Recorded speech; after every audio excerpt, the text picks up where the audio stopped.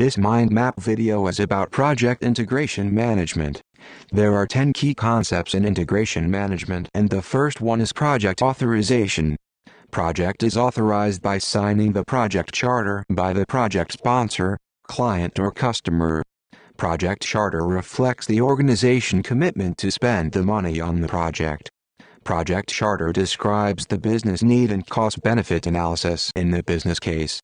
Project Charter document Who is the project manager, his role and his authority. Second key concept is project planning. A project plan describes how a project will be planned, executed, monitored and controlled. Project manager should prepare an integrated project project management plan by preparing subsidiary plans for each knowledge area. An example of subsidiary plan is scope management plan or cost management plan. Baselines are developed as part of project plan. There are typically three baselines on the project that is scope, time and cost. A baseline is an approved version of project scope or time and or cost. The three baselines are known as performance measurement baselines in earned value management systems. Another important planning aspect is development of project documents to manage the project. Examples of project documents are risk register, stakeholder register, issue log, change log, etc. Next key concept is deliverables. A deliverable is defined as any unique and verifiable product, result, or capability to perform a service that is required to be produced to complete a process, phase, or project. Project deliverables are project management plans and project documents while example of product deliverable is design of building, prototype, assembly of engine etc. All product deliverables typically goes through an internal inspection or quality control before passing to customer for final acceptance. Change management is the next key concept. Change management guides us how to manage changes on the project. Changes can be requested by anyone who is authorized. These change requests are of three types. First type is the change request for corrective actions to solve or fix a problem. Second type of change request is for preventive actions to avoid any issue in future project activities and the third type of change request is to repair the defect in the deliverable. Change requests can be raised through project lifecycle and may update project plan and project documents. Next key concept is configuration management.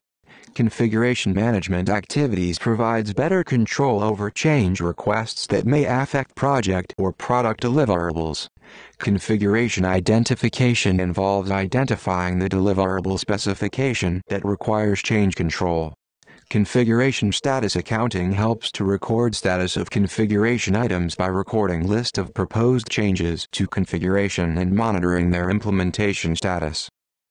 Configuration verification and configuration audits ensure the composition of a project's configuration items is correct and that corresponding changes are registered, assessed, approved, tracked, and correctly implemented. Now, let's look at concept of progress reporting reporting the completion status of deliverables, actual time and cost spent on the project and forecasting information constitute project progress reporting. Project performance measurement is the next key concept.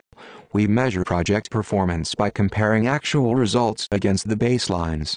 Earned Value Management System is an integrated performance measurement technique to measure scope, schedule and cost performance on the project cost and schedule variance as well as variance at completion should also be analyzed to know if corrective or preventive actions are needed. Next comes the Project Management Information System.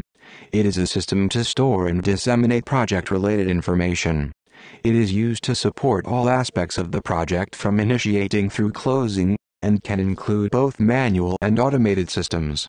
Scheduling tool is considered as part of project management information system. Last key concept is to verify the accomplishment of project objectives that is achieved by evaluating if all deliverables have met the deliverable acceptance criteria and project success criteria as defined in the project governance or in project plan.